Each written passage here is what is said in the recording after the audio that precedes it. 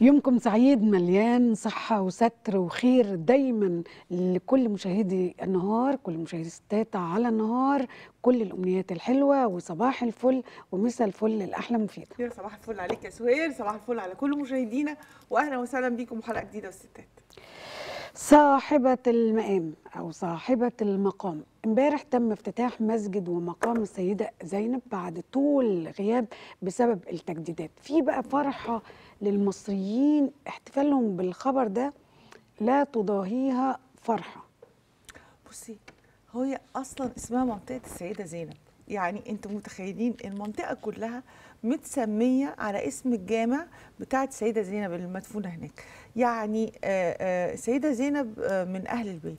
وإحنا آه، آه، المصريين كلهم آه، أهل البيت دول ليهم غلاوة عندنا خاصة جدا. فكرة إن المنطقة كلها عارفة إن الجامع ده جامع مهم في المنطقة والناس كتير بتحب تروحه وستات كتير بتحب تروحه. والناس حواليه وب- وبيجوا له من من كافة أنواع ال- المناطق. يعني السيدة زينب دي ناس بتسافر لها. مدد يا أم هاشم ومولد السيدة زينب ومولد يعني. السيدة زينب ومولد السيدة زينب ده يعني بيبقى خيم في الشوارع وبيات وناس. ففكرة إن هو يتجدد بالشياكة دي ويتعمل ال- اللي إحنا شايفينها قدامنا فيعني عمار يا مصر بصراحة الناس فرحانين جدا آه، المنطقة كلها آه، سعيدة سعيدة سعادة لا توصف.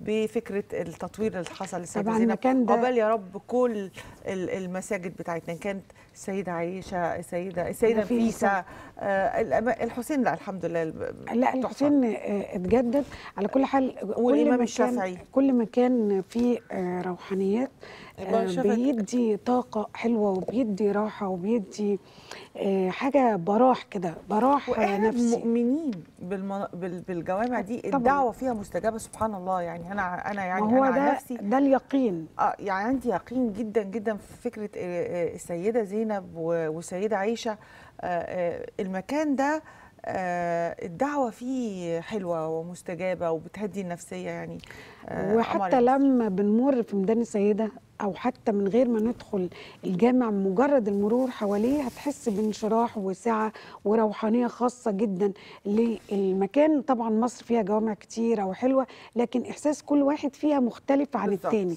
وخصوصا أم هاشم الكريمة اللي بيوصل لها أكيد ترحيبنا وكرمها وأنت في محيط الجامع من كل اتجاه خبر آه، مهم مبهج جداً. فعلا وبشرة خير ونطلب ونطلب يعني أتمنى إنه ما ي- ما يبصي اللي إحنا عاملينه بكثرة البائع الجائلين اللي بيركنوا على السور أو يتحطوا قدامه. يعني أنا أتمنى إن الموضوع ما يبص. ما يحصلش فيه تشويه آه،. خارجي. خسارة. ونتمنى دايما كلنا الوصل مع اللي بنحبهم وما يفصلناش عن الحبايب لا المكان ولا الزمان. آه، ثلاث سيناريوهات. امبارح الزمالك لعب ال- الماتش مع في المغرب وثلاث سيناريوهات ممكن تمنح الزمالك لقب الكونفدرالية رغم الهزيمة من نهضة بركان في ماتش الذهاب 2-1 النتيجة الأولى إن إحنا نفوز بواحد آه، صفر لأن دي هتخلي الزمالك يستفيد جدا من الجول اللي سجله سيف الجزيري في المغرب. كذا سيناريو لكن الزمالك المفروض أقرب إلى الفوز سواء فزنا بواحد أو فزنا بأكتر من هدفين أو آه، يعني أعتقد إن إن السيناريوهات لصالح الزمالك أو إن إحنا نعيد ونكرر نتيجة ماتش ال- ال- اللي فات. يعني يعني اللي أنا فاهماه إن لو الزمالك آه، جاب جون في الماتش اللي جاي وبس جون واحد صفر مم. هياخد البطولة. لو آه، آه، جاب لو مثلا سي جاب آه، اتنين واحد هياخدوا البطولة. لو جاب تلا- تلاتة واحد أو أربعة اتنين هياخدوا البطولة. فكرة آه إنه هو يبقى في يبقى في سابق جون بنقطه أو بنقطتين بجون بجون. آه. أو هنعمل لضربات الترجيح في في أصعب الأحوال وإن شاء الله الزمالك يحسم الماتش. لكن أهم حاجة في الماتش ده كان لقطة المباراة اقتحام أحد المشجعين للملعب وهو بيرفع علم فلسطين عارفة لما تلعبي ماتش كام حاجة و90 دقيقة وبعدين في الآخر خالص يجي حد تاني غير لا هو لا هو لا هو جون ولا هو موقف لا هو حد كده نزل الملعب اقتحم ب- ب- ب- بعلم فلسطين سرق اللقطة. سرق الماتش زي ما بيقولوا يعني أكل الماتش كله لأن الناس كلها اتفاعلت معاه وبالذات صورة اللاعب آه، آه، وهو بيسقف له سيف الدين سيف الدين الهلالي وهو يعني بيسقف له يعني هو ده الترند اللي ماشي من ماتش الزمالك امبارح. هو بال بال بالمناسبة يعني آه، الفكرة فلسطين فرضة نفسها طول الوقت على مم. العالم إذا كان إحنا هنا في الملعب امبارح في فلسطين. في المغرب لكن مثلا في آه، آه، غلاف مجلة مشهورة في في أمريكا اسمها نيويورك. آه، نيويوركر آه، هي زي مجلة صباح الخير هنا في في مصر بتعتمد على الكاريكاتير. عملت صورة كاري- صورة كاريكاتير آه، هم واخدين اللي هو التخرج يعني لابسين التخرج لكن إيديهم عاملة كده. okay. إيديهم عاملة كده إشارة للاعتقالات اللي حصلت علشان التضامن مع آه، فلسطين. بصي أنا يعني إحنا هي معانا الصورة هنقول إن في رمضان الدنيا كانت هادية شوية أو الناس اتلخمت في رمضان و mood رمضان وكده لكن ال- المشهد رجع يقوى تاني بموضوع الضرب اللي حصل آه، امبارح. طبعا زي ما أنتم شايفين وكم الضحايا والشهداء ال- ال- ال- اللي كانت موجودة في الجانب الفلسطيني. حاجة محزنة والصور رجعت مرة تانية والتيك توك والإنستجرام ابتدى يسخن مرة تانية كبيرة جدا على اللي بيحصل. يعني أنا لغاية دلوقتي ما زلت بقول صمود الشعب الفلسطيني آه، قصة لازم نقعد آه، نحكيها بطولة. ونتغنى بيها آه، العمر كله. ده حقيقي والصورة اللي إحنا شايفينها دي فعلا الصورة بألف كلمة بمليون كلمة صورة تغني عن الكلام. كمان كان في صورة في جامعة من الجامعات والطلاب بيتخرجوا وجه مدير الجامعة بيقول كلمته راحوا منسحبين يعني في منتهى الذكاء. انسحبوا لأن هو عمل لهم مشاكل وقت ما تظاهروا تضامنا مع فلسطين. فهم بيعترضوا عليه وعلى الكلمة اللي بيقولها وانسحبوا من حفل التخرج. ده المشهد ده برضو بألف كلمة ممكن تتقال. طيب نروح لحاجة لطيفة ومش لطيفة أو يعني غريبة خلينا نقول غريبة بلاش فكرة اللطيفة دي.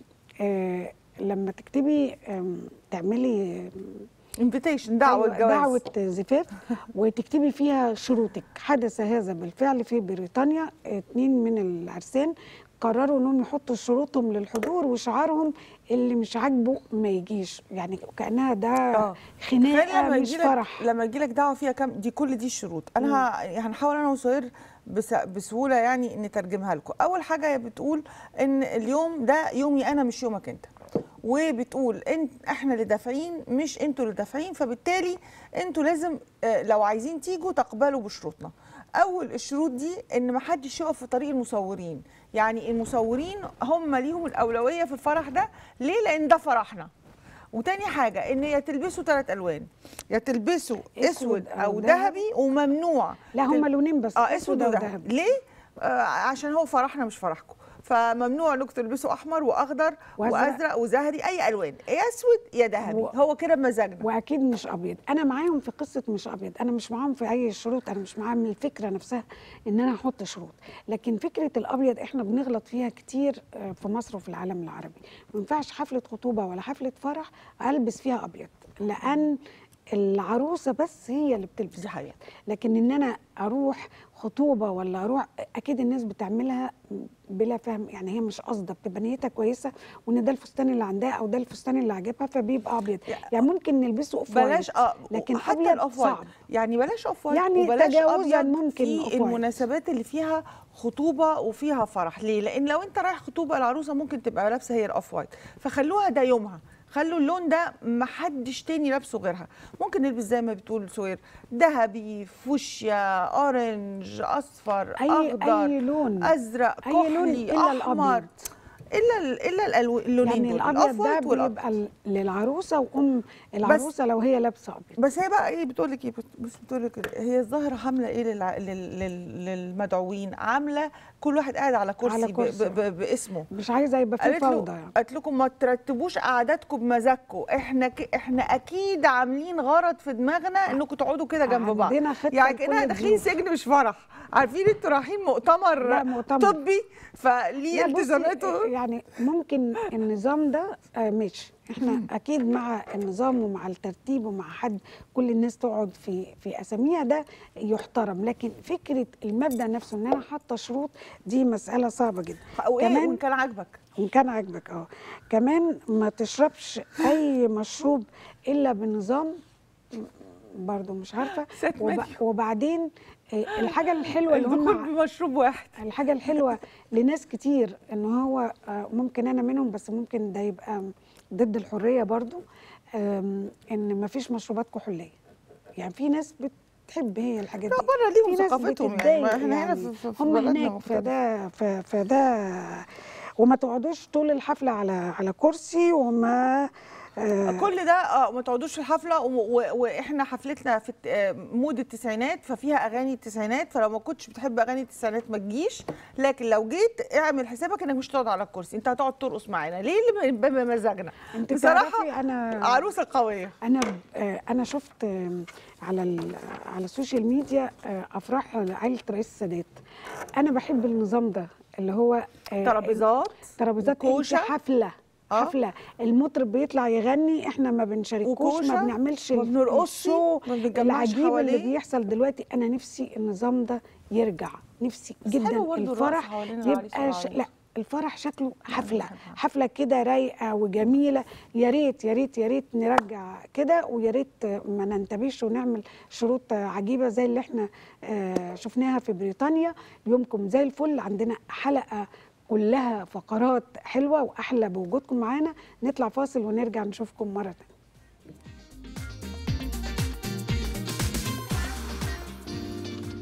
التالي الفنانة الشابة زينب العبد في ضيافة الستات.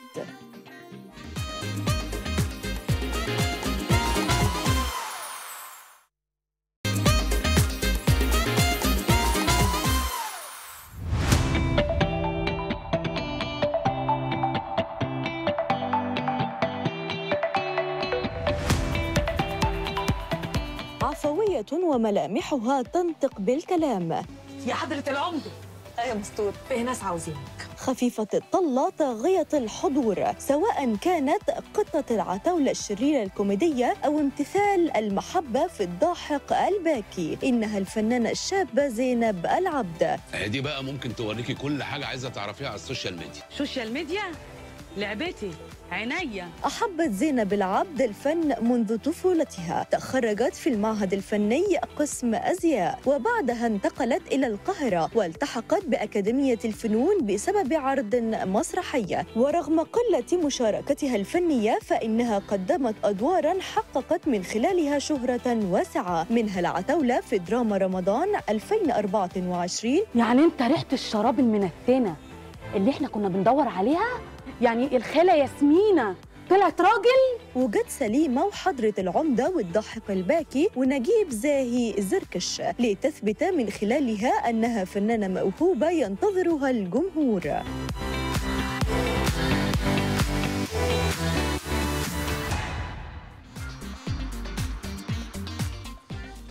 بنجد تحية مرة تانية لكل المشاهدين ميزة الموسم الرمضاني إن هو دايما مصنع لاكتشاف المواهب والنجوم اللي يستحقوا يكونوا موجودين على الساحة ويتصدروا المشهد. في رمضان اللي فات الحقيقة وقفنا عند آه، شخصية قطة في مسلسل العتاولة اللي كانت هي الدراع اليمين للست سترة اللي عملتها ببراعة الفنانة الكبيرة فريدة سيف النصر واللي بنقول لها مسا الفل وبنحبك. الشخصية دي عملتها الجميلة زينب العبد والجميل فيها إنها كانت بتجمع بين الشر والكوميديا في نفس الوقت. فكانت مع فريدة سيف النصر أو كونت معاها ثنائي استمتعنا بيه طول رمضان. زينب العبد ممثلة مسرح وكانت بدايتها على مسرح النهار في مسرحية حب على النظافة في 2016 وحتى الآن هي ما تزال مخلصة للمسرح. كمان شفناها في أكتر من عمل مهم زي آه، وضع أمني ونجيب آه، زي زركش وأبو عمر المصري وملوك الجدعنة وجد سليمة قبل ما الناس تنتبه لها بشكل كبير. وزي ما بيقولوا تكسر الدنيا في العتاولة. كل السعادة آه، والبهجة كده والطاقة الحلوة منورانا يا زينب أهلا بيك. أهلا وسهلا يا زينب نورتينا وشرفتينا. يعني رمضان اللي فات يا زينب أنا آه، كنت بتابع آه، حاجات يعني بتنطط في المسلسلات بس انت لفتي نظري جدا لأن انت المفروض إنك دورك شرير. أيوه. بس انت ضحكتينا.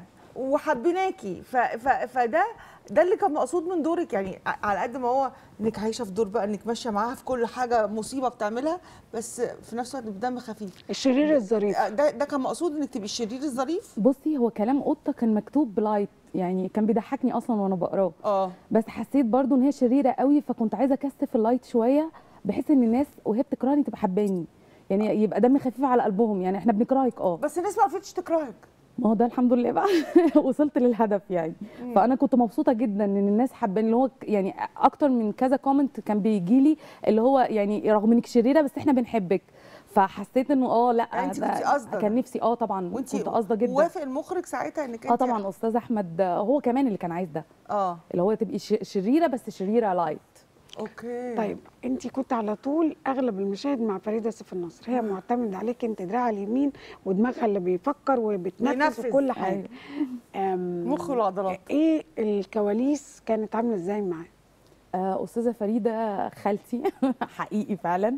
آه، كلمتني أصلا قبل ما نصور على طول أول يوم تصوير ليا كانت مكلماني في التليفون. وقعدنا اتناقشنا شوية في الدور وفي الحاجات وبتاع. أول مرة تشوفيها؟ آه كنت أول مرة آه أشوفها. أول مرة كمان أشتغل معاها. فالحقيقة هي احتضنتني جدا يعني وأنا كنت مبسوطة جدا بالعمل معاها جدا. مم. ست جميلة وحسيت إن ماما قوي يعني. الدور فرق معاكي يا زينب. قوي. يعني يعني أعمالك كتير في حاجات تانية مم. لكن في العتاولة أنت زي ما تقولي اتحط عليكي spotlight الحمد لله. آه يعني المساحة اللي كنت واخداها والفضل يرجع لأستاذ أحمد خالد موسى الحقيقة. أستاذ أحمد أصلا واخدني من على مسرح الأكاديمية. آه طبعا. آه، أنت ممثلة مسرح قوية آه، يعني مش فكنت واخدة جايزة أحسن ممثلة. كان هو من ضمن لجنة تحكيم هو وأستاذة سوسن بدر وأستاذ حسن واو. يوسف. كان يعني لجنة ومستر ريمون مقار كانت لجنة كبيرة. وخدت جائزه أحسن ممثلة. ومن يوميها أستاذ أحمد خالد يعني مؤمن جدا بموهبتي وكان نفسه يعملني يعمل لي أي حاجة يبوش بيها زينب لقدام. فالحقيقة كانت ال- يعني الفرصة جت أكبر في العتاولة. إحنا بنحييه بس قولي لي إحنا عرفنا إن اسمك وراه قصة. آه. إيه بقى القصة؟ أنت أنت زينب طعيمة. آه زينب إبراهيم السيد السيد طعيمة ده اسمي. بس أنا كنت يعني اللي هو فكرة إن أنا أخليه زينب طعيمة ولا أغيره فحسيت إن في طعيمة كتير فقلت إيه أروح لاسم تاني بحيث إن أنا أقفل الاسم. فرحت للدكتور أشرف زكي قلت له نفسي أغير اسمي وأخليه يبقى زينب حاجة بس يبقى مقفول. فقال لي طب هروح السيدة نفيسة أصلي وأرجع لك. راح صلى ورجع قال لي انت زينب العبد. قلت له ما تهرجش يا دكتور. قال لي لا انت زينب العبد. قلت له هغيره دلوقتي يا دكتور. قال لي لا هو خلاص طب زينب انت العبد. ليه كنت مؤهلة إنك تغيري اسمك ما بعد ما أشرف زكي قال لك؟ مع هو؟ بمجرد ما قال لي أنا دخلت غيرته على الصفحات انت كنت ناوية؟ آه. يعني انت ما كانش مش حاسة إن العبد هيفيدك فكنت ناوية؟ لا هو مش فكرتي. أنا عايزة اسم مقفول. ففجأة لما قال لي العبد حسيته إنه لطيف ومش كتير. يعني مش شايفة إن في كتير عبد. يعني آه عشان يبقى مميز. ولا هو العبد بس بتاع الحلويات ولا يعني. عشان نصلى في السيدة نفيسه فانت حسيتي بالبركة جدا. في اختيارك. لا لا لا ما هو ده ده الجزء الأساسي بقى. لأني أنا أصلا يعني من عشاق مسجد السيدة نفيسة وبحب لما ابقى تعبانة ولا حاجة أروح آه، فبصراحة حسيت انها نفحه بعد الاسم ده الاسم ده كان وشه حلو عليا قوي. طب أنت بتروحي إمتى للسيده نفيسه إحنا عندنا تطوير أهو لسه كنا بنقول على مسجد السيدة زينب. آه. أنت بتروحي آه، للسيده نفيسة تحديدا. آه بحب بحب الم... برتاح فيه نفسيا. بتروحي كل قد إيه؟ ولا كل ما تحسي إن أنت كل ما؟ أحس إني تعبان أنا في في مرة نزلت الفجر كده قلت هصلي الفجر هناك وأقعد بقى شوية كده يعني أبقى مع انا ربنا. أنا يعني من من قراءاتي عليكي لقيت إن أنت شخص صريح جدا وأنت بتعترفي إنك أنت ساعات بتروحي لدكتور نفساني وساعات بت- بتبقي طالبة استشارة نفسية. آه. فانت لما بتقولي النهارده إن أنا بنزل للسيدة آه، نفيسة وبحب لأن ببقى تعبانة إيه اللي ممكن يتعب بنوتة حلوة زيك لسه صغيرة؟ آه. يعني إيه اللود اللي في حياتك يخليكي تروحي آه، تستشيري طبيب؟ طبعا مع احترامي اللي انت بتعمليه ده صح آه. تماما. وإنك تحسي إنك محتاجة تقعدي في السيدة نفيسة تشكي لها همك. أنا بحس إن انت لسه صغيرة قوي على آه بس هي فكرة يعني أنا أنا والدي ووالدتي توفوا بدري قوي. من ف- قد إيه بقى يا زينب من حوالي 20 سنة. وأنت اتربيتي إزاي؟ آه، اتربيت يعني عندي خالاتي لا و- مين رباكي يعني؟ مين يعني لا ما أنا كنت كبيرة يعني؟ ساعتها برضو يعني آه. يعني ما ما كنت صغيرة قوي. ف... فتمام يعني قعدت شوية مع خالاتي. على فكرة إحنا ما فيش أي قلق أنا عايزاك تبقي relax أنا relax عشان كل الناس لا بالعكس. عشان أنا مش عايزين نضايقك. اكئب الناس لا لا لا، إحنا حابين آه. نتعرف عليك آه أوكي. آه أنت كان عندك كم أخ وأخت؟ عندي أخت واحدة وهي محامية يعني مالهاش علاقة وأنتوا. الاثنين فرق بينكم كتير في آه السنة؟ لا سنتين. فأنتوا الاثنين بعد ما بابا وماما توفوا رحتي آه. قعدتي عند خالتك. آه قعدت عند خالته لأني أختي كانت متزوجة في الوقت ده. فقعدت عند خالته شوية. ومن هنا لهنا لحد ما أنا استقريت بقى عشان الأكاديمية. دخلت لأني دخلت موازي فكان لازم أقعد في مكان قريب شوية من الأكاديمية. قبل ما الأكاديمية. اتغربت يعني. آه قبل آه، كل ده قبل كل ده. سايبيني. قبل كل ده. فكرة إن الأب والأم ي- يرحلوا في وقت انت بتبقي محتاجة فيهم بيكسر البني آدم بيخليه دايما مش عارف يخرج من الإحساس باليتم أنا آسفة أنا آه طبعا. لا من ده إحساس قاسي. ليه؟ ما كلنا عندنا إحساس أنا فاهمة. بس لما. الاثنين هي الاثنين صعبة قوي بتكسر قوي. آه. بس ربنا بقى طبعا يعني لما بيحط بني آدم في في الموقف ده بيبقى عارف إنه قده. فهو مين كان ظهرك؟ مين آه، كان ظهرك ربنا. بعد بعد ربنا في- بعد وفاة باباك ومامتك؟ خالتك يعني آه، آه، خالاتي خالك؟ ربنا يخليهم ليا آه، أختي آه، أصحابي القريبين الكويسين. في ناس كتير كويسة. طب وده اللي خلاكي تروحي تستشير يعني ده اللي بيعمل فيكي لا ممكن قفلات؟ بقى في علاقات بقى بتحصل لي في النص مثلا أو أو أنا مضايقات أو أو أنا حاسة إن أنا متضايقة آه، حاسة إن مفيش حل عايزة أسمع لحد مخ- مختص يعني انت بتروحي للدكتور نفساني؟ هو أنا ما رحتش غير مرة واحدة على آه فكرة ليه؟ هو مش دكتور نفساني دكتور نفساني استش... دكتور طاقة استشار آه، طاقة. ليه؟ ليه؟ إيه إيه اللي حصل؟ آه كنت أنا مريضة panic attack أنا. وأنا كمان آه فأنا حصلت لي م- آه، فكنت عملت كنت عامل حادثة وال panic جالي بعديها بأسبوع. يعني يعني اللي هو متراكم. وكان يومي ماشي كويس جدا. فلقيت نفسي آه، جالي ال panic attack فاتخضيت. بعديها بشوية كنت في تصوير جت سليمة وراحة للتصوير. وفجأة جالي ال panic وأنا سايقة العربية ويعني انت عارفة بتحسي بإيه إحساسه بال panic attack؟ لا ده تنميل آه. في إيديا ومش مش قادرة تبصي. قدامك آه واللي هو بقى يعني رجلك على- الميه دلقتها على على دماغي كده اللي هو هو يعني ال panic attack شيء صعب شوية طب إيه اللي خلاكي يجيلك ده عشان الحادثة اللي كنت عملتيها؟ لأ هو هو كان عندي من وأنا صغير أنا من صغيرة وأنا وأنا صغيرة كنت خوافه قوي آه يعني هو الخوف آه من. وأنت آه. صغيرة مع آه، وفاة بي- بابا وماما. آه بيتراكم الخوف، بقى آه، فبيعمل كده. وأنا أختي أصلا وقت وفاة ماما صحتني من النوم فقعدت أسبوع ما بتحركش. wow. ف... آه يعني خدت الخضه غير متوقعه آه. أنا قلت لها ما تصحينيش تاني بعد كده. حد يجرى انت عارفة القصة دي كلها والاقي شخصية قدامي كوميدي بتضحك الناس دي مفارقة. آه. لا وهي قوية آه يعني, يعني أكيد إن شاء الله إزاي أقوى آه، وأقوى. إزاي فاصلة؟ آه، احكي لي لا بالعكس أصل أنا أنا مرحة. يعني أنا بحب الضحك وبحب الهزار ما بحبش الكآبة خالص.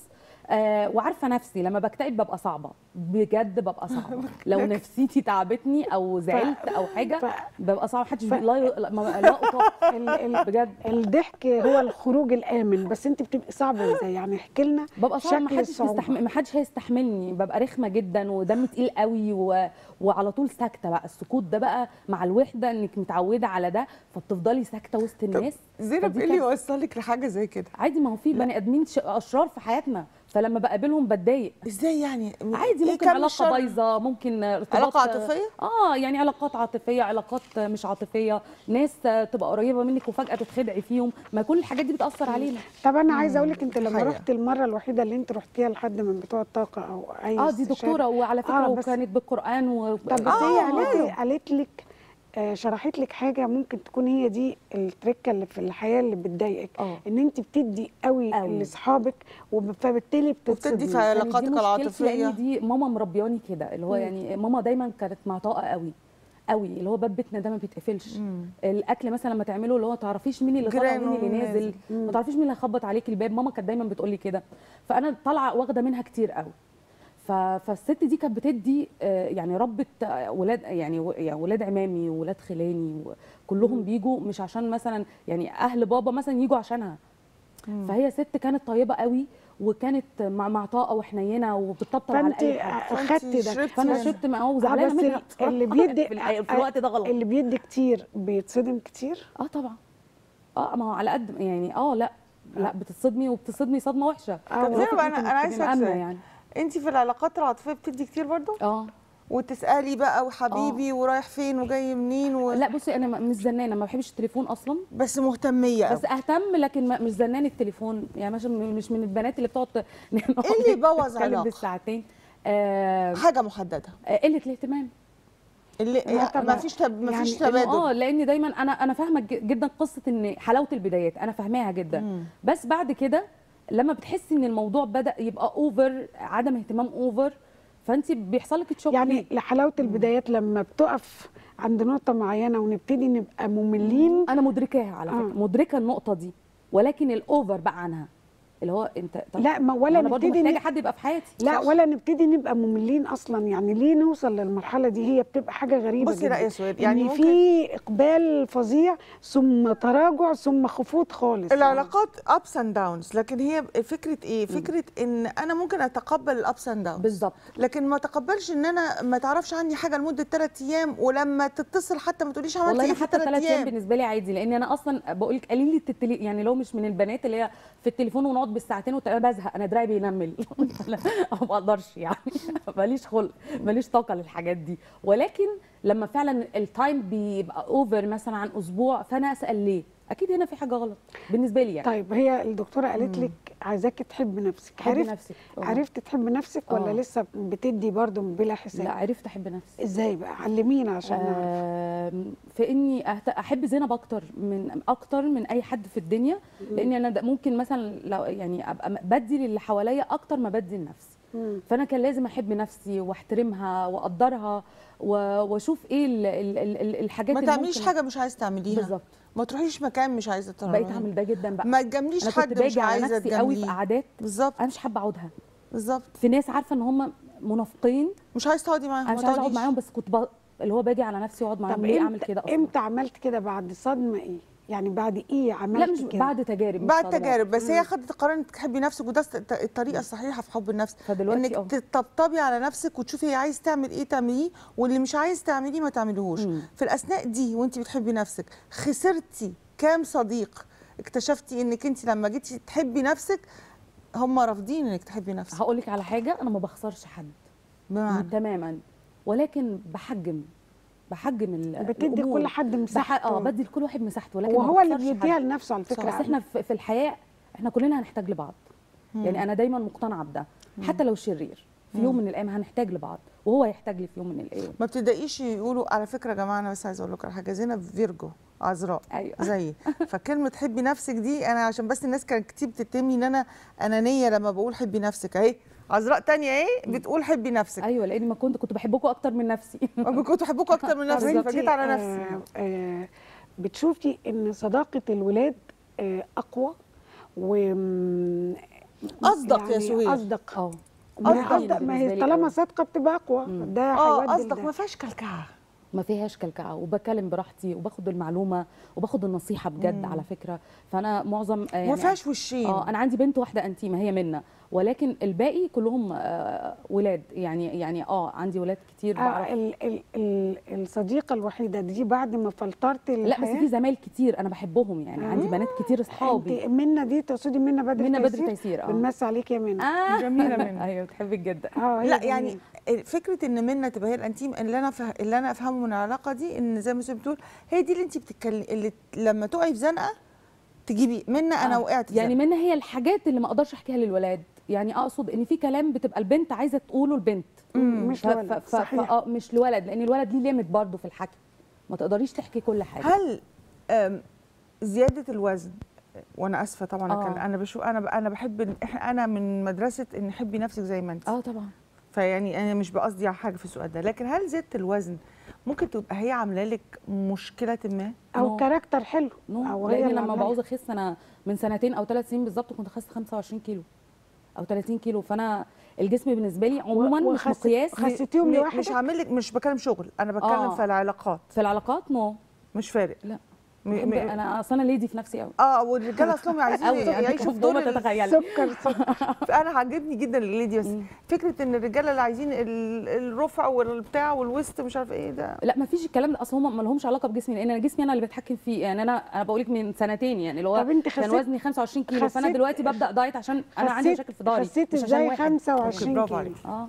سيبنا من إحنا بنخس لنفسنا وعشان صحتنا آه. وبنتخن لنفسنا وعشان إحنا عاجبنا شكلنا سيبنا من الآخرين. لكن انت خسيتيهم إزاي؟ آه، مع دكتور باهي. آه يعني مع دكتور بنظام غذائي يعني. دكتور باهي هاني ده آه، شاطر جدا. آه آه. diet ولا diet آه، ولا diet بس. طب وليه. وليه. وليه وما رحتش قررتي جيم. خالص طب ومنعتي أكل حاجات معينة منعت- يعني آه، آه. أنا أكيد و- ناس كتير هيبقوا محتاجين يعرفوا التفاصيل شوية يقولوا لنا كنت بتاكلي إيه بتشربي أنا طبعا إيه؟ اولا كنت بقى كنت مدمنة بيبسي لحد ما قطعته يعني okay. تمام okay. ف- ف-. فأنا آه آه ودي ف- وقبل ده كده وقت ال diet. وقت ال diet منعت بيبسي تماما الرز والمكرونة أيوة. آم، آه، إيه تاني رز ومكرونة وبيبسي وعيش وكنت باكل بس في اليوم ال free ولما عاوز أشرب أي حاجة بشربها برضو في اليوم ال free آه آه. طيب إيه- ليه ما حافظتيش على ال 25 كيلو اللي انت نزلتيهم؟ آه، ما حافظتش عشان يعني سبت نفسي. أنا بحب. الاكل بس مش أكيلة. يعني أنا بحب الأكل. أنا بحب الأكل. بس مش أكيلة. اللي هو ما ب- بس إحنا ضعاف. مش من الناس اللي بتغب لا بس لكن- ضعاف. آه. يعني إحنا إحنا بنحب الأكل من كتر ما إحنا بنحب الأكل. ممكن لو في اليوم عايزة تدوقي كذا أربع خمس ست حاجات ولو هو حاجة غلط وهي دي اللي بتتخن ممكن تعمليها. أيوه. مش أكل أكل. مش آه. تقعدي تخلصي طبق آه، آه،. آه، فتة مثلا. أو أريح بقى مثلا أقعد شوية في البيت ما أنزلش خالص. ما أنا ساعات بيجي لي أوقات كده ببقى عايزة أبقى م- منتخه في البيت بس. فده كله بيبقى مع عدم أيوة بس الحركة والحاجات بس دي بتخني ما, ما زعلتيش؟ أصل 25 كيلو ده زعلت بطولة أكيد هرجع لوحدها أنزلهم تاني. أنا قادرة أعمل أي حاجة أنا. عارفة. أنت فيرجو ما طب أنا عايزه سؤال. الوزن ده مش ملاحظة إن هو مديكي رونق في آه، عالم التمثيل؟ يعني آه، الناس بتحب جدا وترتبط جدا بالمدملكين الحلوين اللي دمهم. خفيف. أيوه أنا بقى أنا مشكلتي إن أنا وزني زاد عن الدملكة. عشان نبقى واضحين بصراحه فانا دلوقتي أنا فوق أنا المدملكة. المرحلة اللي ما بعد المدملكة. فأنا هرجع للمدملكة بقى. اللي هي ال 20 15 كيلو دول اللي هم المدملكين. لكن أيوة. غير كده لا. يعني ما بحبش رفع أصلا. يعني أنا بحب الجسم يبقى حلو. هي لكن الفك- مش رفيعه لا هي ال curve. الحلو. لا هي الفكرة ال curve الحلو بس هي الفكرة فرص علشان شغل حلوة. آه آه آه بس هو يعني عمر ما كان ال- أنا أنا بالنسبة لي أنا كزينب جسمي عمره ما كان مقياس. لموهبتي ابدا ابدا ابدا. أنا أقدر ألعب أي حاجة وكل حاجة فأنا مش عايزة جسمي يحجمني بصراحة. برافو عليكي بس هي الفكرة في ال... إن أنا بنزل في الوزن هو عشان صحتي. آه لا أنا عندنا ركب وظهر أنا كنت و- راقصة على فكرة. أيوه أهو وضغط وحاجات؟ كتير. كنت راقصة في فرقة رضا. بجد؟ قعدت فيهم؟ قعدت فيها تل... سنتين ونص أو ثلاث سنين. ومن قبلها كنت برقص برضه. بس أنا دخلت الفرقة عشان كنت حباها. وكان وخرجتي ممكن؟ تكملي في الفرقة ما... خرجت بقى يعني إيه سارة. ل- ليه ما كملتيش طيب ما أعرفش بقى يعني ما أعرفش إيه اللي حصل أو آه، حسيت إن أنا ال- ال- الفرقة برضو خدي بالك إنها وظيفة يعني فرقة رضا دي موظفة، وظيفة آه. فأنت مهتمية بمواعيد وحاجات وأنا محتاجة آه، يعني أنا أنا أصلا يعني موهبتي. الأساسية هي التمثيل ولكن أنا بحب الاثنين جنب. بعض. آه، آه. بس كانت عمري طول ما أنا كنت موجودة في الفرقه عمري ما كنت هعرف آه، آخد خطوات في التمثيل. إمتى قررتي تدخلي معهد فنون مسرحية وتسيبي أسرتك وتيجي تعيشي جنب الفنون المسرحية؟ كأنك سافرتي من بلد لبلد واتغربتي. آه هو أنا كده كده already كنت عايشة يعني already في يعني في القاهرة. آه بس لما دخلت كنت في مسرح النهار بعمل عرض آه اللي هو حب على نظافة. ودكتور أشرف زكي شافني وقال لي آه، نمشيها صح بقى. فقلت له okay. وباشمهندس عبد الله وناس كتير قوي قعدوا يقولوا لي طالما قالوا كده آه يبقى لقوا إن في كلهم. لا وبعدين طالما لقوا كده يبقى في موهبة. آه. ولازم آه، لازم نثقلها نثقلها وندعمها.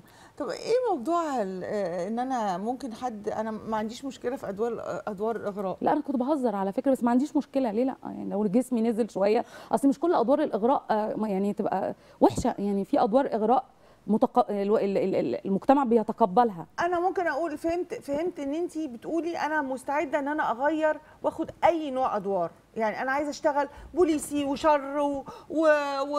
يعني أنا أنا وجامعة أصلا و- كنت يعني أنا كنت عاملاها إفيه يعني كنت آه. بهزر بس حقيقي يعني أدوار الإغراء ما يعني في م- فنانين كتير بيعملوا أدوار إغراء بس يعني من غير بهدوءة يعني من بهدوء. غير من بهدوءة. إيه غير بهدوء دي؟ بهدوء. أيوه من غير يعني فجاجة من غير عري. بالظبط. لا يعني بتتعمل بالظبط. ما في أدوار بتتطلب ده. على فكرة. مش لازم. طيب كان ليكي اسم وأنت صغيرة؟ إيه؟ كان بيسموك إيه؟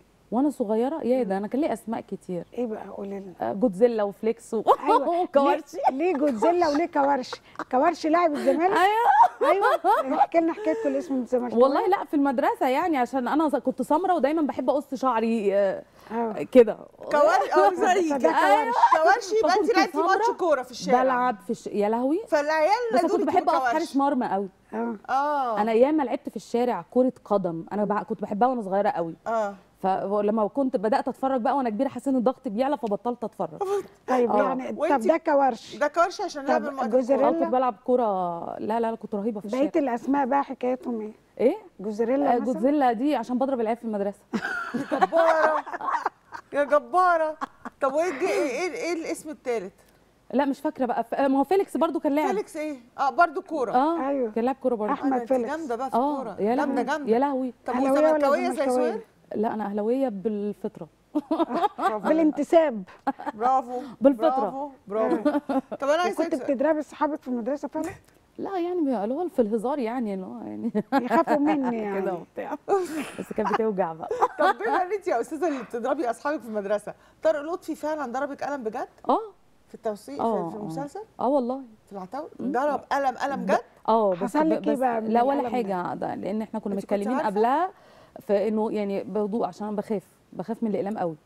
يعني بخاف بحس إن ممكن يحصل لي ما هو حاجة. بس بهدوء وضربك جامد ولا ضربك بهدوء؟ لا ضربني قلم بيرفكت اللي هو ما وجعني اللي هو حسيت بيه بس ما ما- مش اللي طرقع ولا اللي لسوع يعني عارفة أيوة. انت ال- الاقلام اللي هي ما هي لو بجد احكيش مش قلم يلوحك يعني. لا لا بصراحة. مم. كان بيرفكت وقعدتوا تتكلموا فيه يعني بتاع- بتقعدوا تتكلموا إن أنا هضربك قلم يعني لا أنا عرفت إن في مشهد القلم ده النهارده فأنا رحت له. آه قلتي أنا رحت امن على نفسي. قلت له قلت له أنا عندي هو عادي. هيضرب على فكرة. أستاذ طارق. ما عندوش أزمة. إحنا محتاجين نقعد نتكلم آه مع قلت له محتاج أكمل المسلسل بس. أكتر من كده. فرحت لما الناس شبهتك بمعالي زايد؟ قوي. آه، ده. آه ده أنا. بحبها قوي. يا آه خرابي. كلنا الله يرحمها يا خرابي جوكر مم. بالنسبة لي فنانة جوكر لعبت كل حاجة فأنا بعشقها ودمها كان خفيف و- برضه ما. بقول لك لعبت كل حاجة. كوميدي و... و... كوميدي وإغراء وتراجيدي. وكل حاجة وانت فعلا فيكي يعني بصي لما حطينا الصورة هنا دلوقتي لأ يعني لأ فيكي فيكي منها كتير بحبها قوي طب آه. انت على التيك توك بتعملي حاجات لعبلة كامل آه شوية آه يعني أنا بعشقها أصلي أصلي مين ما بيحبش آه مين ما يحبش مين ما. بيحبهاش. مين؟ دي دي, دي علم. ما عبلة. ما حاولتيش تكلميها ولا تقابليها أنا عارفة إن هي يعني أنا كل من بسمع طبعا من الأخبار وبتاع إن هي حابة تبقى خلاص لوحدها يعني براحتها. فأنا أنا أكيد نفسي أ- بس أنا قابلتها مرة على فكرة. مم. يعني قابلتها كده مرة في كان في سلسلة دم وكنت رايحة مع واحدة صاحبتي ال- اللوكيشن ودخلت سلمت عليها. أنا أنا أنا يا جماعة يعني دخلت الأوضة حسيت إن شم ريحة مسك كده وحاجات حلوة و... الله. كانت قمر قوي. يعني أنا أنا بجد يعني عندها روحانيات مش طبيعية. الله أكبر. زينب أنا آه، طبعا الوقت معاكي جري بسرعة جدا بس أنا في سؤال أخير. انت في العتاولة آه، حققتي نجاح الحمد لله وقبليه في أعمال تانية. بس الناس اللي جاي إيه؟ يعني دايما دايما أنا بحس إن النجم لما بيوصل لنجاح كبير في رمضان بالذات بيبقى مقلق. آخد آه. ده ولا آخد ده ولا أشتغل مع آه. ده ولا أشتغل مع ده. انت دلوقتي معروض عليكي؟ إيه يعني- إيه اللي بتفكري تعمليه؟ والله لسه في يعني اتعرض عليا يعني أفلام واتعرض عليا مسلسلات آه، ويعني لسه يعني لسه مفيش ابروف على حاجة بز يعني بعينها يعني آه، فأول ما هيبقى في ابروف أنا هقول يعني بس أنا طبعا أكيد بس دلوقتي المف- بشوف إيه الأقرب لقلبي المفروض في. الجزء آه. الثاني للعتاولة إن شاء الله آه آه طيب ده في حد ذاته موجودة فيه؟ آه إن شاء الله يا رب تبقى تهدي بقى تبطلي شر وافتكاسات. بتاعتك دي. هحاول. ولا هتكملي إنتاج الشر؟ آه، على حسب أنا ما أعرفش خالتك. اللي بيتكتب فيه لسه هتعيدي إنتاج خالتك بقى. يعني مش عارفة لسه والله. والله ما أعرف إيه اللي مين اللي ال- من العتاولة العتاوله ال- باستثناء منا منا دي صاحبتك. لكن من الزمايل اللي كنتم موجودين في المسلسل لسه انت على اتصال بيهم. على اتصال بيهم يعني بتتكلموا في الاعياد في المناسبات آه يعني آه، زينة طبعا أنا مم. بحبها جدا لأني اشتغلت معاها قبل كده جامعة سالم مم. آم، آه واستاذه مي على طول برضو يعني كلهم. على فكرة مين المخرج اللي نفسك تشتغلي معاه؟ والله كتير يعني أنا أي مخرج حتى لو جديد واحد. يعني حتى لو جديد بس شاطر يعني يعني أنا ما عنديش أزمة اللي هو بس أكيد في ناس يعني في أستاذة كاملة أبو ذكري مثلا طبعا. في أستاذ تامر محسن آه ده أنت آه، اخترتي أستاذ محمد شاكر ذكية يا بنت برضه. آه طبعا. أنا في. في في. مسرحنجيه يعني. آه لا في ناس طبعا. أتمنى أكيد. ولو شباب حتى عندهم الموهبه قوية أنا يعني أكيد. ده ده أتمنى أكيد زينب إحنا مبسوطين قوي باللقاء أنا اللي. مبسوطة قوي سعداء وبنتمنى لك كل تفوق وتألق وبنحيي محمد طعيم عشان أنتوا قرايب أكيد ابن عمي. في شبه وبعت أيوة. لكم السلام وبنحييك يا محمد. عمل معانا حلقة جميلة جدا أيوة. جدا هو جميل ورائع وكوميديان فيكوا شبه من بعض سكر، أيوه دي آه، حقيقة. الطيبة والسكر. أنتوا. الاثنين هو شفتي بقول لك بنشكرك جدا وبنتمنى لك وهنقابلك على طول وانت متفوقة. ومشرقة. ولسه حلقتنا مكملة عندنا فقرات كتير نشوفكم بعد الفاصل.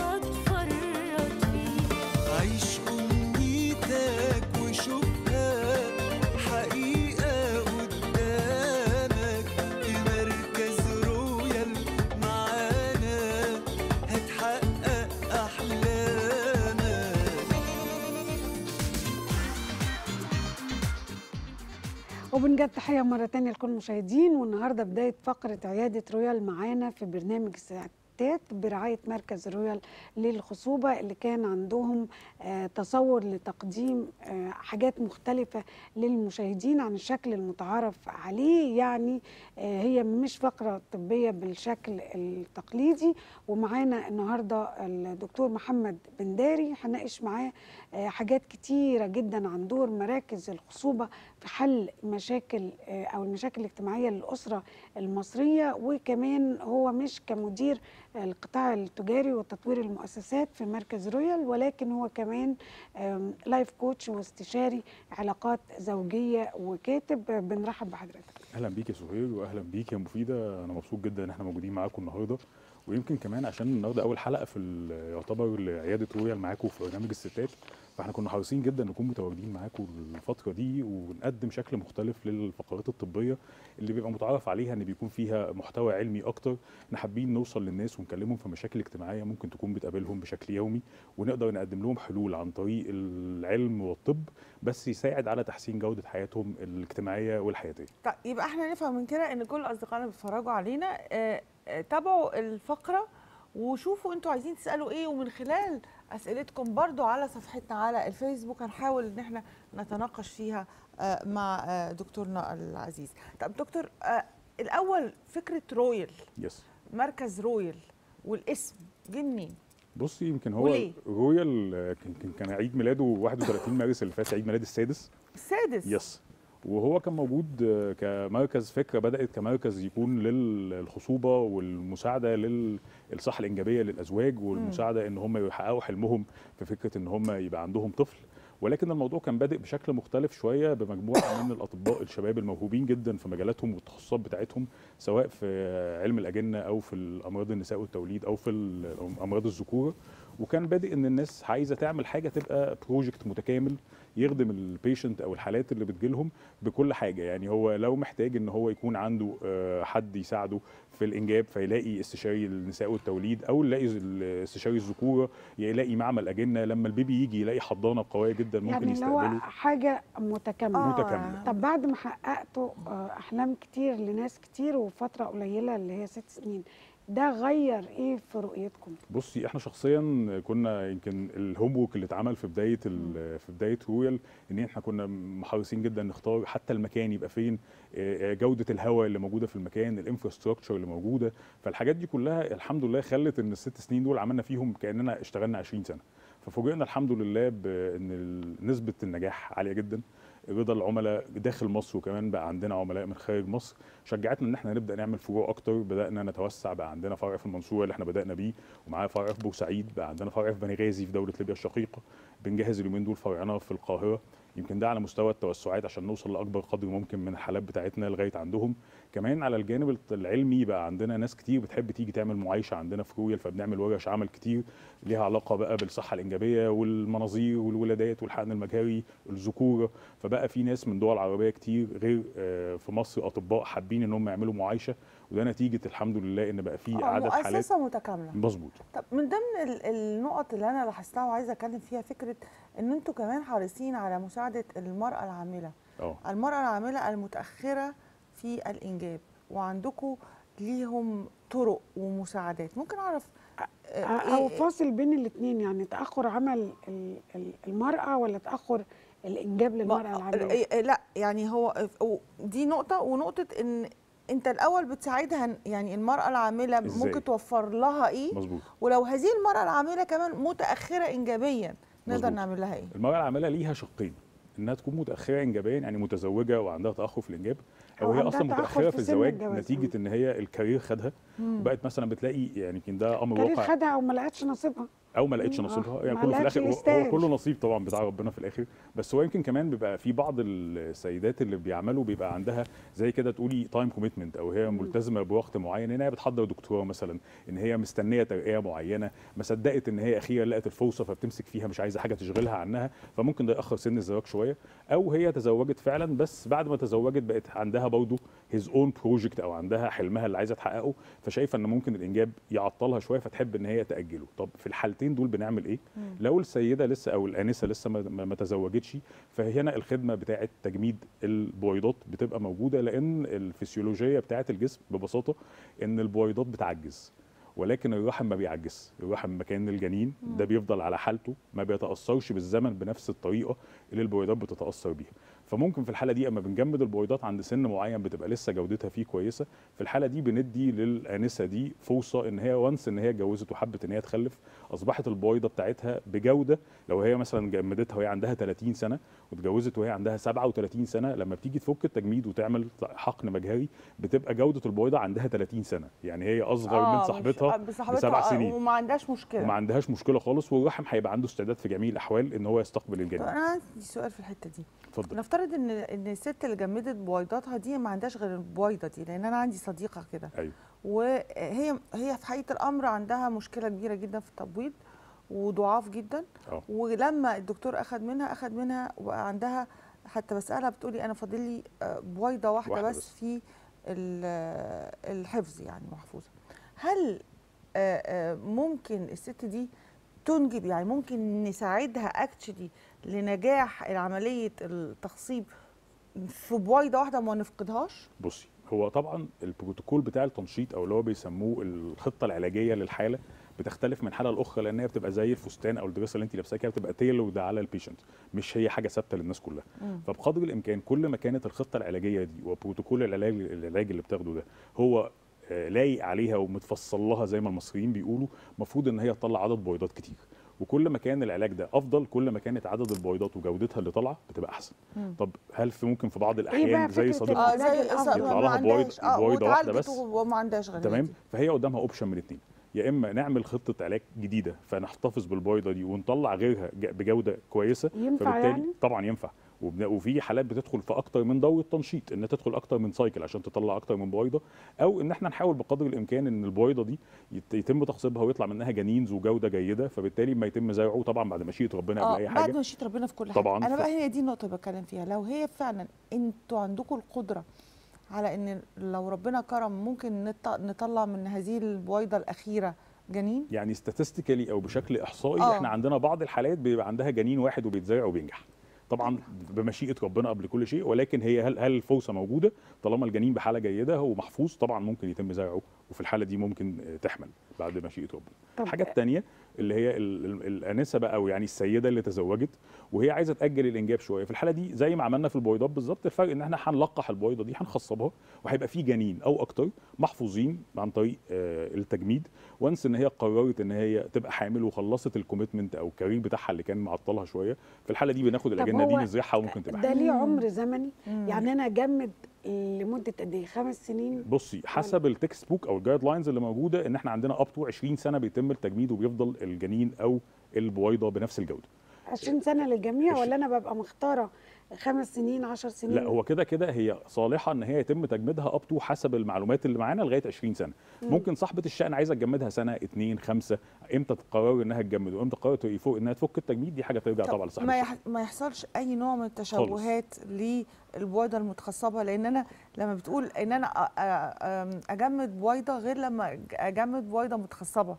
أنا في وجهة نظري في دماغي لما أنت قلت لي بحس إن ده baby طب ده أنا هقول لا طبعا هو baby آه baby baby. فال baby ده أنا أسيبه كده 20 سنة في متجمد يعني طب أنا هقول لك هقول لك؟ مفاجأة مفيدة أنت عارفة إن الحقن المجهري ممكن يتم بطريقتين يا إما نزرع أجنة fresh يعني لسه مخصبينها فنزرعها directly في الأم أو إن إحنا نزرع أجنة مجمدة تخيلي إن الأجنة المجمدة نسبة نجاحها أعلى من الأجنة ال fresh ليه بقى؟ لأن الأجنة المجمدة بتدي الأم والطبيب فترة إن هي تعمل لها زي ما بيقولوا كده تظبط كل المشاكل اللي كانت عندها لأن الجنين already متشال مش محتاج إن أنا أزرعه دلوقتي زي ال fresh. ال fresh already اتعمل صاحبته لو عندها القرار هتبقى عايزة تزرعه دلوقتي. لكن أنا مثلا لو عندي آه، على سبيل المثال حاجة بسيطة جدا ممكن تأثر على الحالة الصحية الإنجابية لل- للأم أو للزوجة اللي هي مثلا ال overweight أو إنها تبقى obese ممكن تبقى محتاجة وقت إن هي تخس فيه. فأنا مم. ممكن القح الجنين ده وأشيله وأجمده لغاية هي ما وزنها يبقى مثالي لأن أنت عارفة إن ممكن الوزن الزائد يأثر على الحمل بعد كده إنه يكمل. أو لأ فبالعكس ده بيدي فرصة أحسن للأم إن هي تبقى جاهزة إن هي تبقى تحمل وتبقى pregnant وهي في حالة صحية جيدة طب هل فعلا التلقيح معلش يمنع فكرة ال ال الأطفال اللي عندهم أي نوع من الإعاقة؟ okay إحنا كده دخلنا في مشكلة اجتماعية تانية آه. اللي هي زواج الأقارب آه. زواج الأقارب كتير بن- أو أم خلفت مش أقارب آه، وكان سبحان عندها الله أصل وكان مش شرط إن يبقى أقارب عشان بس دي معلومة كل الناس تبقى خايفة منها هي الموضوع إن ممكن ربنا ي- يرزقها بطفل عنده مشكلة مش. شرط إنه يكون أقارب معاكي حق بس هذه هو- الأم لو خلفت أول طفل وعندها متعقدة هل أنت تضمنها أو ممكن في في التقن... في التقنية شيء يمنع تكرار ال... العلم اللي توصل له دلوقتي إن طبعا إحنا ليه بنتكلم دايما عن زواج الأقارب لأن هو الانسيدنس فيه. بيبقى أعلى. ولكن طبعا زي ما انت بتقولي ممكن آه. تحصل مع ناس مش أقارب الفكرة ببساطة إن إحنا ال- ال- الجنين أول ما بيبقى خلاص اتلقح وعنده عمره في الحضانة الداخلية اللي جوه معمل الأجنة من ثلاث لخمس أيام okay. إحنا نقدر نسحب منه خلية ونقوم بتحليلها. الخلية دي انت عارفة أي خلية لينا كلنا فيها اللي هو بيسموه ال DNA. map ال chromosomes كل الخريطة الوراثية بتاعتنا. فبنشوف فيها لو في مشكلة في جين معين بنيجي نقول على فكرة مثلا هي عندها خمس أجنة مجمدين. في واحد منهم أو اتنين إحنا لقينا فيهم المشكلة الوراثية دي. فإحنا بنبقى بقى عارفة زي straw أو يعني آه، علبة فيها الخمس أجنة دول. ده بتبسيط يعني مبسط شوية. فبنقول لهم على فكرة رقم واحد واثنين دول فيهم مشكلة وراثية.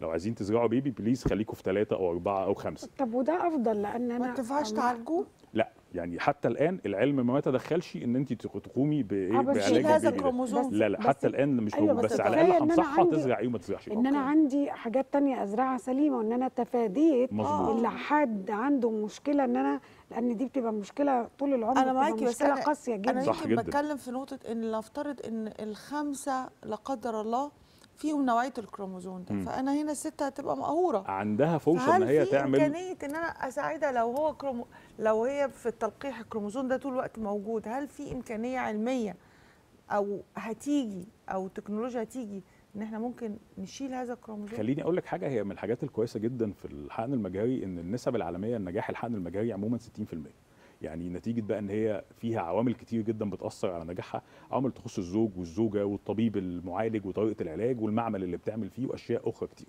عشان كده دايما بيبقى في أكتر من محاولة للحقن المجهري ودي الحاجة اللي من نعم نعم ربنا علينا إن ممكن الأم رغم إن نظرية الاحتمالات دايما مش هتطلع الخمسة فيهم نفس الكروموزوم انت عارفه آه، ال probabilities عموما بتكلم أنا بس أنا بروح مش معاكي بشكل علمي آه، أنا بروح معاك. to the آه،. عشان في عندنا قصص كتير بس لو ده حصل هي عندها فرصة ان هي تتنشط تاني وإن هي تطلع أجنة تاني okay. فبالتالي هي عندها فرصة إنها تطلع في مرة أو الثانية أو الثالثه عندها baby ما يكونش عنده المشكلة دي طيب من الحاجات برضو اللي أنتوا بتقولوا إن أنتوا بتساعدوا فيها آه، بقى في مشكلة أزلية فكرة آه، نوع الجنين. آه. أنتوا كمركز آه، إيه إيه اللي أنتوا بتقدموه في القصة دي؟ بصي أنا هقول لك حاجة يا سهير هو يمكن إحنا عندنا في الشرق الأوسط ال Middle Eastern عموما يعني من أيام الراحل فريد شوقي وفيلم آه، يا رب ولد لو تفتكري. إحنا عندنا آه، فكرة إن إحنا دايما عايزين ولاد. however إن الولد والبنت هم the same ممكن يكون البنت حنينه كمان على باباها ومامتها أكتر ولكن لسبب أو لآخر هي بيبقى مطلوب الموضوع ده. عشان كده يمكن من ضمن الحاجات اللي بقت موجودة العلم وفرها إن أنت تقدري تختاري آه، نوع الجنين دلوقتي. بس ده بيتم إزاي؟ شفت الطريقة اللي لسه قلت لك عليها حالا إن إحنا بننقي ال baby نشوف. ال DNA map بتاعته عاملة إزاي ونشوف هو فيها مشكلة ولا لأ. هي نفس القصة بالظبط بس بيتم تحليل تاني إن أنا أعرف الجنين اللي أنا بحلله ده الخلية دي خلية لذكر أو لأنثى. في الحالة دي أنا كمعمل أجنة أنا ما قمتش بتحديد إن أنا قلت هجيب لك ولد. لا خالص أنا خدت البويضه والحيوان الم- المنوي ما جوزتهم لبعض وعملت الجنين أنا حتى الآن ماليش أي تدخل. أول ما الجنين بقى موجود أنا كل اللي عليا إن أنا أحلله بس. واقول لها على فكرة الجنين واحد واثنين وثلاثه دول أنثى الجنين أربعة وخمسة دول ولاد. وهي تختار. وهي تختار. طب عشان نتأكد لأن الموضوع ده حصل عليه جدل كبير والأ- والأزهر اقروا إن هو شرعا حلال. ليه؟ لأن أنا مثلا افرضي اللي هو نفس اللي انت قلتيه نفس المثال بس هنطبقه هنا. إن الخمس أجنة طلعوا بنات. طب هل أنا في إيدي حاجة أعملها؟ أكيد لأ لأن أنا في الآخر اللي بي اللي بيخلق ربنا, ربنا. أنا عليا الاختيار مش أكتر من كده. فهي بتس... وهو في ناس بيختاروا ولاد عن بنات؟ وفي ناس بتختار بنات عن ولاد. بس بنسبة قد إيه الولاد أكتر من طبعا الولاد أكتر بكتير. يعني لو التخلف موجود. يعني بصي هو يمكن شوية زي ما قلت لك الشرق اوسطيين أو الشرقيين عموما بيشوف إن الولد ممكن يكون امتداد لاسمه ولكن في الآخر هم كلهم نعمة من عند ربنا. في ناس نفسها لو عارفة. المصريين بيقولوها دوفر دوفر طفل عيل. يطلع ولد يطلع بنت المهم إن هو يجيب في الآخر طفل. يعني. أخيرا بما هناخد بقى الجزئية بتاعة ال life coach yes لو قلنا نصايح okay. لأن موضوع التخصيب والبويضة بره تتخصب وتخش في جسم الست تاني ده load نفسي. جدا. و و وعلى قد ما كل أب وام وكل زوج وزوجة بيتمنوا إن هم ما يتعرضوش لحاجة زي كده إلا إن الظروف بتجبرهم لكده. دي حقيقة. تنصحهم بإيه نفسيا؟ يتقبلوها إزاي؟ يتعايشوا مع الموضوع إزاي؟ يحسوا إن اللي موجود في بطن الأم ده ابنهم حقيقي ابنهم. يعني اللي جابوه مش حد من بره يمكن من ضمن الحاجات اللي كانت يعني مخلينا عايزين نكون متواجدين دايما في برنامج الستات ودي حاجة أنا يعني بعترف بيها وبرجع الحق لأصحابه في أول حلقة ما بيننا إن فعلا اللي بيشيل معاناة الحقن المجهري أكتر من 60 70% منها يمكن أكتر كمان السيدة الست لأن هي اللي بتتحقن وهي اللي بتتعالج وهي لو عندها مشكلة محتاجة تدخل بمنظار جراحي هي اللي بتعملها هي اللي في الآخر بتشيل العناء بتاع هي الولاده اللي ففعلاً شايلة الليلة هي الليلة بصراحة نفسها. بصراحة آه. آه. الستات هم اللي شايلين الليلة. بس طبعا في الآخر it's couple issue يعني هي في الآخر هي الزوجين هم المسؤولين عن الموضوع. خليني أقول الرسالة الأخيرة دي لو تسمحي لي طبعا بالثلاث شخصيات اللي سهير عرفتني بيهم بمدير قطاع تجاري وبال life coach وبالكاتب. وهقول لك إيه الفرق ما بين الثلاثه المدير قطاع تجاري بيبقى شغله كله أرقام تحليلات. فخليني أقول لك لأي couple ودي نصيحة أنا بنصحها لأي couple ناويين على حقن مجهري أنت عارفة دايما الصدمة بتبقى بالبلدي كده على قد العشم. يعني كل ما تكوني متعشمة بزيادة قوي كل ما تبقى الصدمة والبو اللي هو بيسموها ال boost يعني ما نرفعش سقف التوقعات. لا وده مش كلامي أو إن أنا بحاول أقول للناس على فكرة اعذرونا ده في نسب فشل لا. مم. النسب العالمية بتقول 60% خلينا ندي مثال بسيط جدا للناس. أنا عايزه يكون في دماغهم وهم داخلين التجربة دي.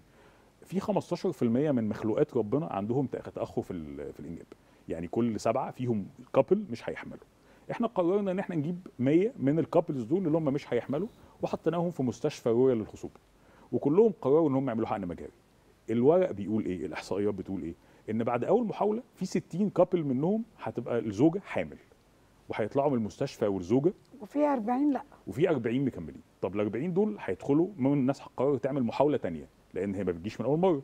مش كلها بتيجي من أول مرة.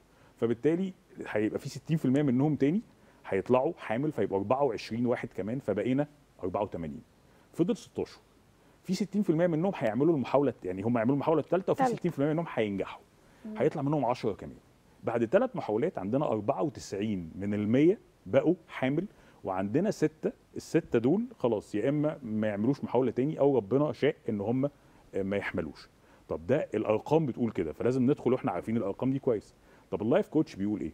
بيقول إن أي حد النهارده لو مسافر بره وبيقدم على فيزا لدولة تانية أو سافر يشتغل بره وبيقدم على رخصه سواقة في دولة عربية أو داخل امتحان في كلية ماستر أو دكتوراه فتلاقي بيقولوا إيه؟ هي ما بتجيش من أول مرة بس أنا مش مصدق ده أنا نجحت من أول مرة. فإذا كان أنت في التعامل بتاعك مع المخلوقات البني آدمين اللي زيك عارف إن أنت في بعض الحاجات في حياتك ممكن تحتاج مرة واثنين وثلاثه عشان تتحقق فتيجي على الطلب اللي أنت بتقدمه لربنا انت بتخليك بتقدمي طلب, لربنا. فتيجي للجزء الثالث من الرسالة الختامية بالنسبة لي اللي هو الكاتب بقى. لو إحنا بنكلم ربنا وبنبص لأعظم كتاب في الدنيا اللي هو كتاب ربنا. ربنا في سورة الشورى الآية 49 والآية 50 بيقول إيه؟ ربنا بيقول اللي هو يعني يهب لمن يشاء اناسا ويهب لمن يشاء ذكور يعني ربنا إدى لنفسه الحق إنه يعمل كده. أو يزوجهم ذكرانا واناثا ويجعل من يشاء عقيما يبقى في الآخر لازم نعرف إن قدرة ربنا في الآخر أقوى من أي أقوى شيء. من أي شيء. نشكر حضرتك يا دكتور محمد حضرتك جدا جدا. جدا سريعا لكن إن شاء الله عندنا حاجات كتير ميرسي جداً تباعنا ليكي. نتابعها. كل الشكر. لسه حلقتنا مكملة. نشوفكم بعد الفاصل.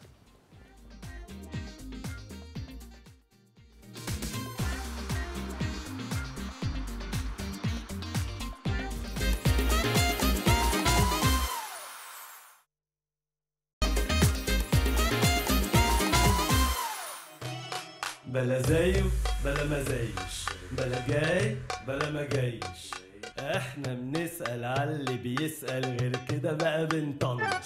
بلا حب بلا ما حبش بلا حن بلا ما حنش. يا ألف أهلا باللي عايزنا وسلام للي يفنش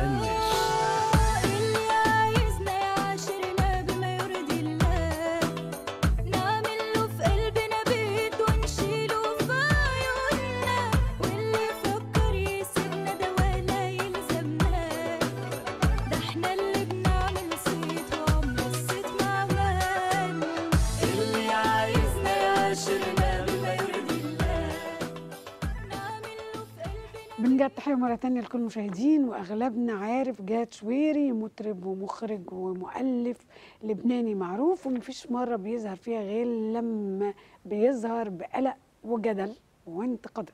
هو متعود على ده ويمكن يحب ده ويحب يكون مختلف وده جزء يمكن من شهرته كل مرة بيعمل فيها كليب بيكون عارف إن هو مثير للجدل. ولما قرر يطلع معاه مطرب تاني بيكون عارف وواثق إنهم لازم يطلعوا ترند. آه، في أغنية بوسي خد لك أجازة من حوالي 8 سنين كانت معاه برضو ووقتها الأغنية زي ما بيقولوا كسرت الدنيا وكانت بتتذاع كتير جدا. اشتغل برضو مع جورج وسوف وكارول سماحة ووليد توفيق ووائل جسار وكتير جدا كمخرج ومؤلف. لكن لما يظهر ويكون آه، حالة مختلفة لأنه اختفى شوية ورجع تاني بيعمل أغنية آه، الصيت وبقالها أربع أيام وقربت من نص مليون مشاهدة بس رجع وهو عامل جدل تاني لأن اللي بتغني معاه في الكليب مطربة آه، محجبة. اختارها عن قصد ولا ما اختارهاش عن قصد ولا إيه هي مين. ومن اسكندرية سهيلة منورانا ومبروك ال- النجاح. شكرا جدا لحضرتك. أهلا. وسهلا بيكي سهيلة إبراهيم. يعني آه، الصوت الجميل اللي شفناه في الفيديو كليب. أنا آه، يعني عارفة إن جاد شويري كمخرج عنده أفكار كبيرة جدا وواعي. فاهم هو عايز إيه. وكمطرب هو طول الوقت بيحط مراخيره في كل حاجة بتحصل في الأغنية. منها أول حاجة اختيار اللي بيغني معاه. آه، اختيارك لما سألتيه لما كلمك في التليفون إيه الحوار اللي دار؟ أكيد أول حاجة قلتي له ليه أنا؟ صح؟ أكيد. آه، هو الأغنية كانت بروجكت مشترك ما بينه وما بين منتج أحمد الشال. آه، طبعا هم سمعوا الأغنية وسمعوا اللحن وشافوا الكلمات وكل حاجة وابتدوا إن هم عايزين يكريتوا للفكرة يعني. فكانت هي الفكرة إن هو عايز يعمل بقى حاجة مختلفة شوية عن عن مثلا الفيديوز بتاعته ال- ال- اللي كان بيعملها أو كده. فجت الفكرة بقى إن إيه رأيكم نجيب بنت مش مشهورة مش معروفة وفي نفس الوقت كمان لابسة حجاب. ف يعني المنتج أحمد الشال تواصل مع مع ناس كتير طبعا عشان يبدأوا إن هم يقترحوا له ناس. اقترحوا له مين؟ آه، فكان ليا زميل اسمه حازم. آه، هو اقترح على المنتج أكتر من من بنوتة محجبة فهم اختاروني أنا. بعد ما يعني- سمعوكي أكتر من مرة بتغني في حاجات آه طربيات آه، يعني هم دخلوا على ال account بتاعي بقى على التيك توك وقعدوا يسمعوا. بس هو يعني شاف الفيديو فهو اختارني على طول يعني. آه عرضوا عليا طبعا ال- ال project وأنا أعجبت بيه بصراحة. رد فعل أسرتك. آه صراحة هو أنا أهلي بيدعموني جدا من زمان من وأنا طفلة يعني. فكان رد الفعل ال- فضلنا نتناقش شوية طبعا في الموضوع إن يا ترى إيه اللي ممكن يحصل. بس أنا أهلي عارفين إن أنا بحب دايما أخوض التجربة يعني في أي حاجة في حياتي عموما يعني. أنت شفتي جاد آه، هو جالك ولا أنت اللي سافرتي؟ آه لا هو تواجد وقت التسجيل يعني إحنا مصر. سجلنا الأغنية مع بعض مصر. وتعرفنا على بعض و... آم، وأنتوا بتحطوا ال storyboard للقصة هو كان بيشاركك في كل حاجة آه عشان هو. عارف إن معاه مطربة محجبة فليكي آه، دخلات وليكي خرجات خروجات وليكي قعدات كان ده آه ده تم محطوط في الدماغ؟ ده تم فعلا. آه هو كان يعني هو بيحترم عقلية الشخص اللي قدامه ايا كان هو عامل إزاي. يعني مم. هو هو هو مثقف بيحترم ال personal life وال privacy وكل الحاجات بتاعت الشخص فعليا. يعني ده مش بقول ده عشان أنا على الهوا ولا عشان أنا بشتغل معاه أيوه بس ما. كانش عندك أنت آه، تركيز إن أنت تنبهي إن في حاجات تنفع حاجات ما تنفعش عشان أنا لابسة كده. ففي حاجات ما تنفعش بالنسبة لي. كان عندك ده ولا ما كانش عندك؟ آه ما كانش عندي ده عشان هم كان عندهم آه ده. بالظبط. ما يعني- يعني- احتجتيهوش. يعني بمعنى آه، أصح آه، ما. احتجتيش إنك يعني تفكري فيه لأن هو كان موجود وكان الناس دي مركزة في الحاجات دي. بالظبط. يعني أنا ما احتجتش إن أنا أعترض على حاجة لأن هم كانوا عاملين يعني كل حاجة إن مش هينفع نعمل كذا مش هينفع نأفور عشان برضو آه، هو كده كده هيبقى فيه ردود أفعال يعني إيجابية وسلبية. أول ما سمعتي اسم الأغنية؟ آه، فهمت فهمت ال- الفكرة عاملة إزاي يعني؟ فهمت وقتها ان ان ممكن نعمل أي حاجة بسيطة بشكل كويس وهتعمل صيت. طب إحنا عندنا مفاجأة ليكي؟ ومعانا على التليفون جاد شويري مساء الخير. جد و... اه- سمعنا من التليفون وقفل ال... ال- التلفزيون.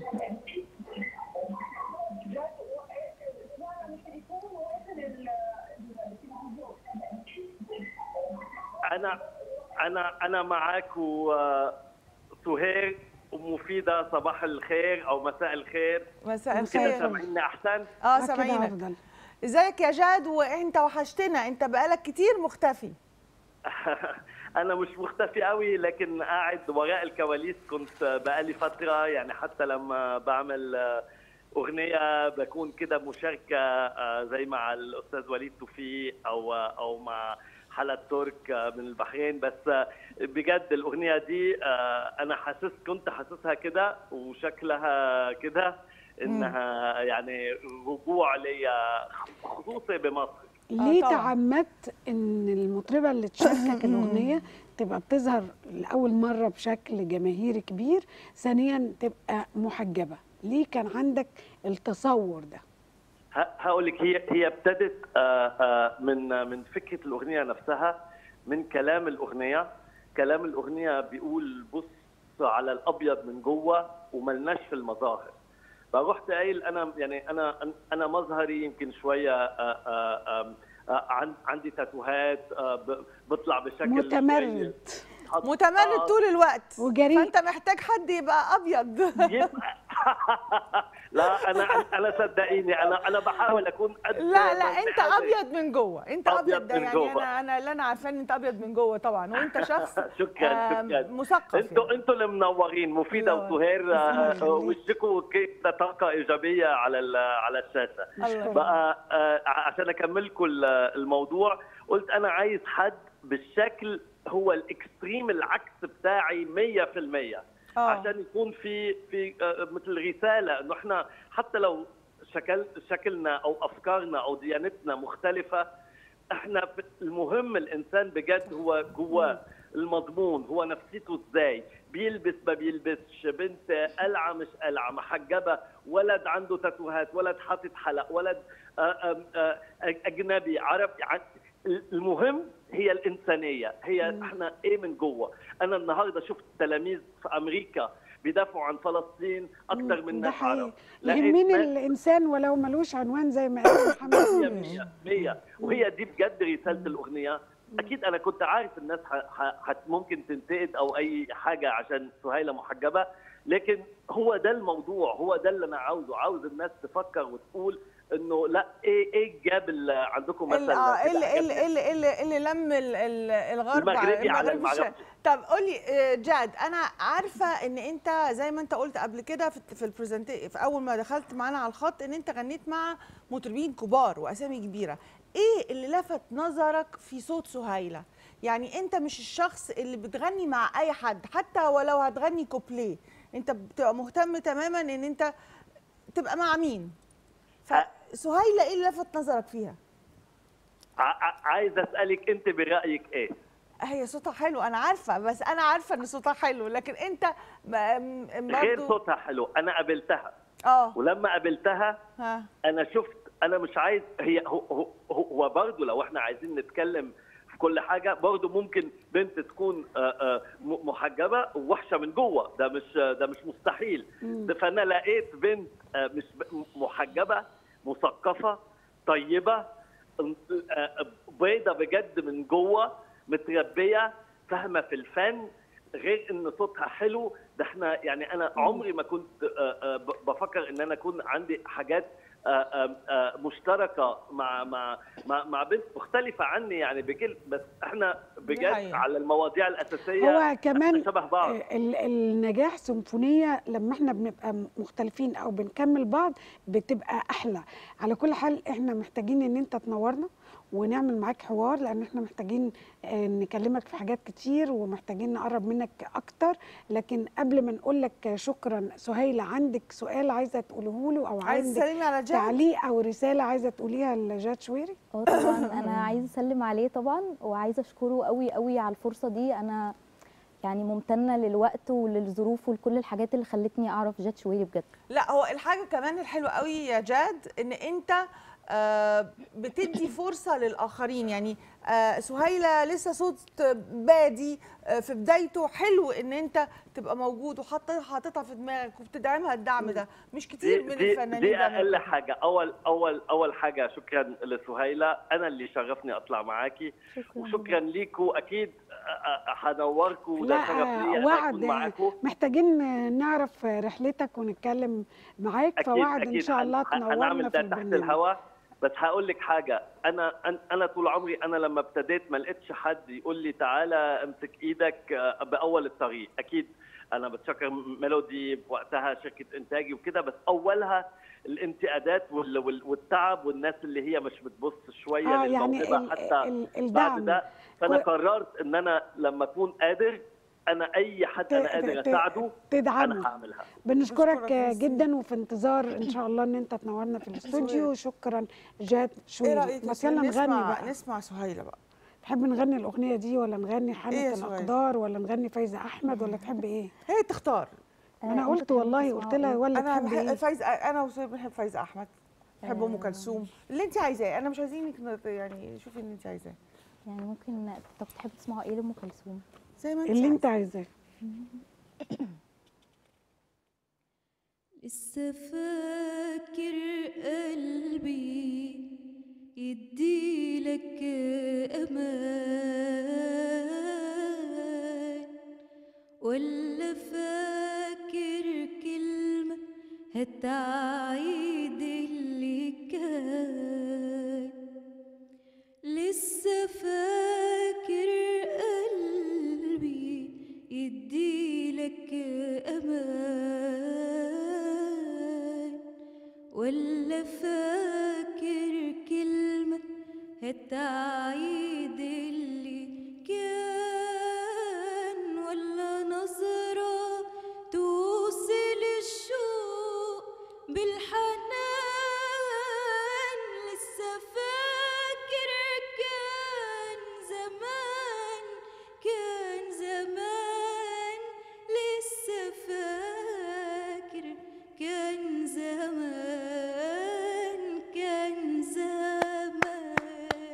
الله الله الله الله. الله بتغني حتة صغيرة. طب فايزة أحمد بقى. وطولي شوية يعني عايزين نسمع الصوت الحلو ده. يا تمر حنا يا تمر حنا خليتي بينا وبعدتي عنا.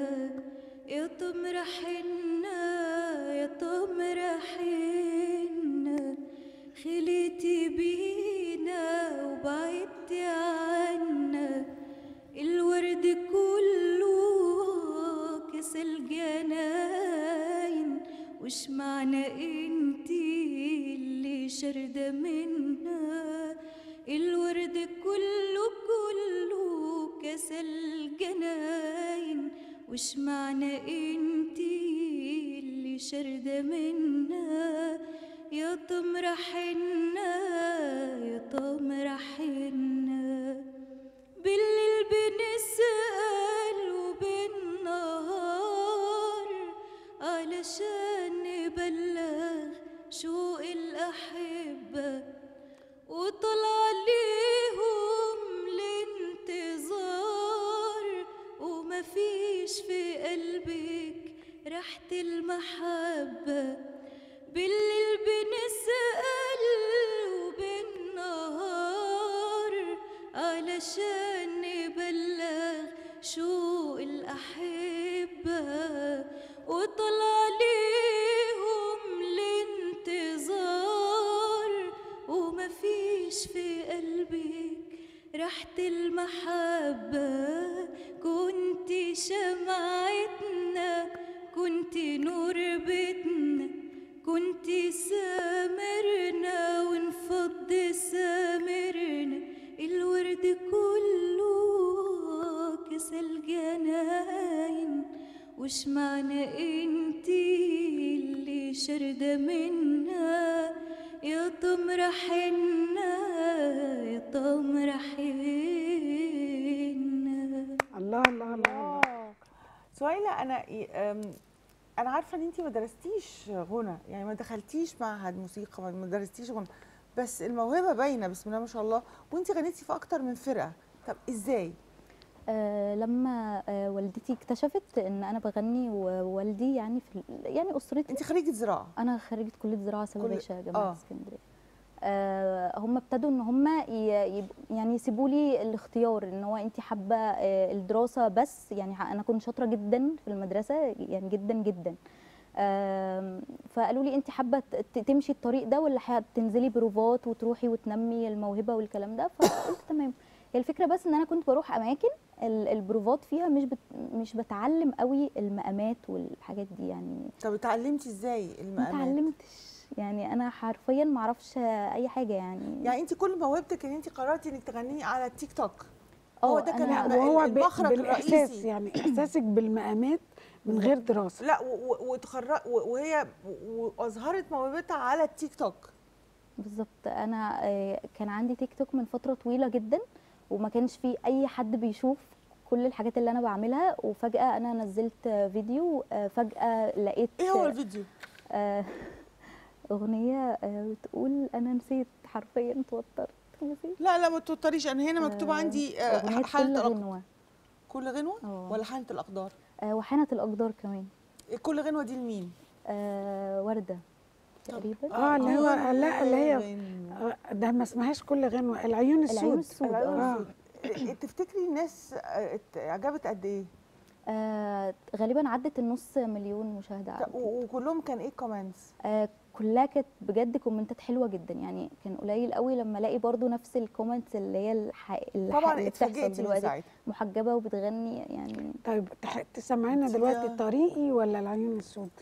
باعتبارهم انت بتحبي شيرين؟ بتحبي أغنية طريقي؟ طريقي أكتر. و... والعيون السود عملت معاكي بداية حلوة. تحبي تسمعينا إيه؟ آه يعني ممكن نقول طريقي عشان هي بس طب. قريبة هي بتأثر مني فيكي قوي آه، الأغنية آه، دي. انت آه، كلماتها بتمثلك؟ جدا. طب خلينا نسمعها ونقارن بال طريقي ولازم امشي فيه. مفروض عليا ومفروض عليه. لا أنا قادرة أني منه أرجع ولا عارفة حتى نهايته إيه. طريقي ولازم امشي فيه. مفروض عليا ومفروض عليه لا أنا قادرة إني منه ارجع ولا عارفة حتى نهايته إيه. يهزمني هو مرة وابكيله واقوله ليه ليه؟ وفي وسط بكايا ابتسم له وابص له واضحك عليه.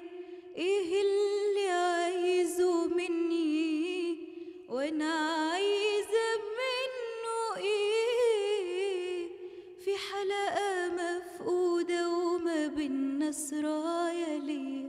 يا إما ليه؟ طريقي. وطريقك كده فعلا؟ يعني ده إحساسك؟ آه، ده إحساسي. آه مش عارف حاجة لسه. لسه بس عايز تتعلمي. why not بس عملتي حاجة. اللي عاجبني إن انت ممكن لسه تكوني في البدايات بس ربنا اداكي الفرصة وأعتقد إنك هتمشي عليها. أكيد. يعني إيه أول حاجة تطلعي من هنا؟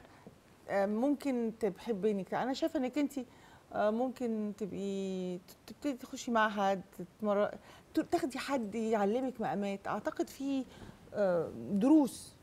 آه، هو بالفعل إحنا لما قعدنا اتناقشنا في في الموضوع ده أنا اتناقشت في الموضوع ده مع جاد شويري لأن هو شايف إن أنا لو اتعلمت آلة كمان وتعلمت آه، المقامات الموضوع هيختلف طب أنت تحبي. تتعلمي إيه من الآلات؟ آه، أنا بحب البيانو قوي وبحب القانون بس هي ال- القانون آلة وترية تقيلة قوي على البنات كمان بالأخص. أنا مش شايفة إن انت محتاجة تتعلمي دكتورة آه، ميسة آه، عبد الغني أستاذة بس القانون أنا مش. شايفة إن انت محتاجة تتعلمي آلة بقدر ما محتاجة إنك تتعلمي وتنمي فكرة ال- ال- المقامات والصوت لأن انت في الآخر خالص مش هتستعملي الآلة آه، هتستعملي آه، صوتك أكيد. أكيد. فما تضيعيش الوقت تفهمي الآلات لكن عززي صوتك. هو الموضوع بيختلف بس وقت الحفلات بقى وان أنا بيبقى معايا فرقة مين فأنا- دلوقتي مين دلوقتي اللي انت حابة بتشوفي أغانيه وبتحبي تت- ت- تسمعيها وتجيبيها وتقلديها وتغنيها على التيك توك؟ من المطربين آه، الموجودين. لا كل الناس أكيد. أنا بحب ناس كتير قوي. بحب أمال ماهر بحب أنغام بحب شيرين. آه لا كتير قوي. لو يعني لو قعدت أقول هقول ناس كتير قوي. ومع ذلك غنيتي الورده أول أغنية ليكي. آه ما كانتش أول أغنية يعني هي هو ده كان الفيديو اللي فايرال وقتها يعني. لكن أنا أنا بحب قوي الغنى الشرقي القديم جدا بحب الغنى الطربي قوي قوي قوي خلاص يبقى إحنا كده بنحبك زيادة عشان الغنى الطربي ده هو الغنى بقية الحاجات التانية حالات لطيفة لكن الغنى هو الغنى متفق عليه. بنتمنى لك كل توفيق وأسعدتينا ونورتينا. يا سهيل شكرا جدا. أنا. مبسوطة قوي إن أنا كنت معاكم. شكرا. بالتوفيق ليكي يا حبيبتي. وتحياتنا لكل مشاهدينا ونشوفكم بكرة إن شاء الله. إن شاء الله بكرة يوم جديد في الستات دايما تكونوا بخير ونشوفكم على خير.